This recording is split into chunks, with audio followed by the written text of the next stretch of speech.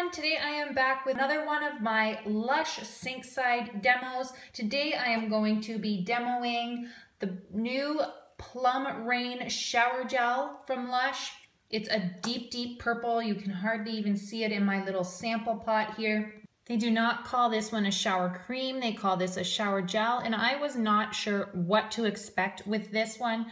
I was pleasantly surprised at how much I love the scent of this. Look at that beautiful purple color. Sweet, fresh plum juice and uplifting Sicilian mandarin oil. This just is a beautiful scent combination.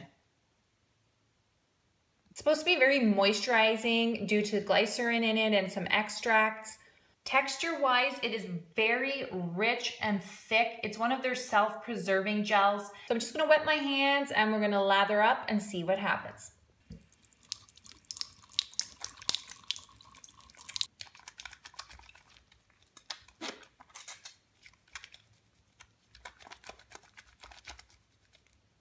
With this shower gel, the bubbles aren't really a purple color. They're a nice, maybe a very faint pale purple tinge to them, but they're more on the white side. It's very creamy. It was a quick lather. My hands do feel very nice and moisturized.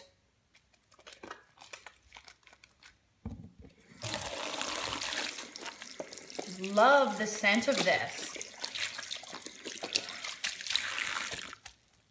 I'm done with the Sinkside demo of the Plum Rain Lush Shower Gel. I have to say afterwards, my hands feel so smooth and quite moisturized, almost like I put on a lotion. I faintly smell the scent on my skin and it is beautiful. I loved the color, I love the texture. Overall, I really enjoyed this shower gel. I will more than likely be purchasing this in full size. I hope you enjoyed today's Sinkside demo of Plum Rain Shower Gel by Lush. If you did, please don't forget to give it a big thumbs up. If you like my channel, feel free to subscribe and join me for more videos in the future.